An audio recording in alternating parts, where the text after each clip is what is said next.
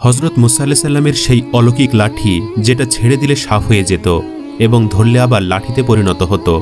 এই অলৌকিক ক্ষমতাটি হজরত মুসা আলাহ সাল্লাম কীভাবে পেয়েছিলেন তা জানতে হলে ভিডিওটি শেষ পর্যন্ত দেখতে থাকুন। হজরত মুসা সাল্লাম সুদীর্ঘ দশ বছর তার শ্বশুর হজরত সোয়েব আলি সাল্লামের নিকট থেকে বিদায় গ্রহণ করে কিছু জরুরি মালপত্র, কিছু পশু ও বিবি সফুরাকে নিয়ে মিশরের উদ্দেশ্যে যাত্রা শুরু করলেন। মাদায়ন থেকে কিছু দূর অগ্রসর হলে সন্ধ্যা নেমে আসে। তখন তারা সেখানে তাঁবু ফেলে রাত্রি যাপনের ইচ্ছা করলেন। বিবি সফুরা ছিলেন গর্ভবতী। প্রতিমধ্যে তার প্রসব বেদনা শুরু হয়ে যায়। হজরত মুসা আলাইসাল্লাম এই অবস্থা দেখে চিন্তিত হয়ে পড়লেন। তদুপরি চতুর্দিকে ঝড় বৃষ্টি আরম্ভ হয়। সকলের ধারণা ছিল অল্প সময়ের মধ্যে ঝড় শেষ হয়ে যাবে। কিন্তু ঘটনা ঘটল তার বিপরীত। ঝড় ক্রমশ বৃদ্ধি পেল। ঠান্ডা বাতাসে সকলে কাঁপতে আরম্ভ করল। কিন্তু সঙ্গে আগুন জ্বালানোর কোনো ব্যবস্থা ছিল না। যাতে করে তারা এক ভয়াবহ সমস্যার সম্মুখীন হল। হজরত মুসা আল্লাহ এখন তাঁবুর বাহিরে এসে চারিদিকে তাকিয়ে দেখছিলেন কোথাও আলো আছে কিনা। দূরে দেখলেন পাহাড়ের ওপর অনেকগুলো বাতি জ্বলছে। তখন তিনি সেখান থেকে আগুন সংগ্রহের আশায় সেদিকে রওনা দিলেন। সফুরাকে বললেন, তোমরা একটু সময় অপেক্ষা করো, আমি আগুন নিয়ে ফিরছি। হজরত মুসাল্লাহ আলো দেখে সেদিকে হাঁটতে লাগলেন।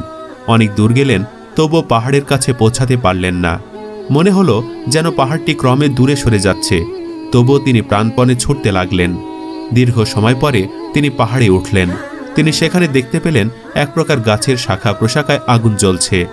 তখন তিনি শুকনো ডাল হাতে নিয়ে স্পর্শ করলেন, যাতে ডালটিতে আগুন ধরে। কিন্তু বহুবার চেষ্টা করেও তিনি আগুন জ্বালাতে পারলেন না। তখন তিনি খুব হতাশ হয়ে পড়লেন। এমন সময় আল্লাহ তাআলা বললেন, হে মুসা, আপনি এখন তুয়া উপত্যকায় পৌঁছেছেন আপনি আপনার পায়ের জুতা খুলে নিন। আমি আপনার সাথে কথা বলতে চাই। আপনি গাছের শাখা প্রশাখায় যে আলো দেখতে পাচ্ছেন, সেটি আগুন নয়। সেটি আমার নূরের উজ্জ্বলতা মাত্র। আমি আপনাকে আমার নবী হিসাবে পছন্দ করি। অতএব আপনি পাঠ করুন, লা ইলাহা ইল্লাল্লাহ মুসা কালিমুল্লাহ। অতপর আপনি সর্বদা আমার কথা স্মরণ করুন এবং নিয়মিত সালাদ আদায় করুন। সমগ্র পৃথিবীর মানুষকে এ কালেমার দাওয়াত দিন। পৃথিবীতে আল্লাহর আইন প্রতিষ্ঠার লক্ষ্যে জেহাদ করুন। হজরত মুসা হাতে ছিল একটি লাঠি। আল্লাহ তালা হজরত মুসা আলাহ সাল্লামকে প্রশ্ন করলেন, হে মুসা, আপনার ডান হাতে ওটা কি?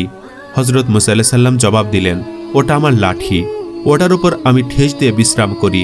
ওটা দ্বারা আমি মেষের জন্য পাতা পারি এছাড়া আমি এটা দিয়ে আরও অনেক কাজ করি। আল্লাহ তালা নির্দেশ দিলেন, আপনার লাঠিটা মাটিতে ফেলে দিন। হজরত মুসাল্লাম লাঠিটা মাটিতে ফেলে দিলেন। অমনি সেটা একটি বিরাট অজগরের রূপ ধারণ করে।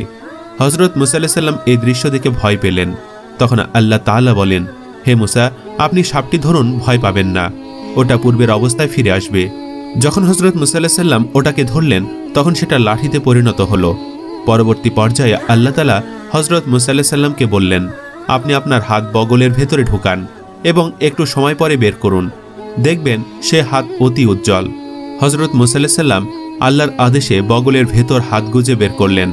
তখন দেখা গেল, হাতখানি সূর্যের ন্যায় অধিক উজ্জ্বল বর্ণ ধারণ করেছে, যাতে পৃথিবীর এক প্রান্ত থেকে অপর প্রান্ত পর্যন্ত আলোকিত হয়ে উঠেছে।